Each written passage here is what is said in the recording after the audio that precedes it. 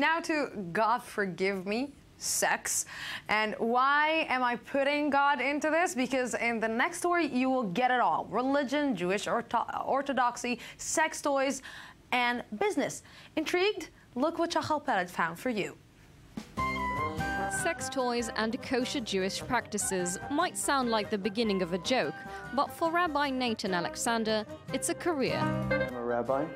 I've been in education for over 15 years and I realized that there was a need for education in a very different field uh, for couples to be educated.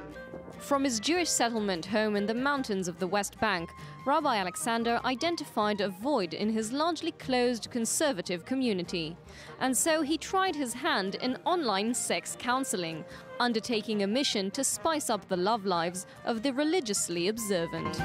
Feedback from the local community as well as worldwide has been very, very positive. Um, this is a subject that is difficult to talk about and I have many, many people both in the community and in the wider scope sending me messages saying, well done Rabbi, thank you for putting this on the table, thank you for helping us move ahead in this subject. On his website, bettertogether.com, couples can pursue and purchase all sorts of sex toys, comfortable knowing the products are kosher.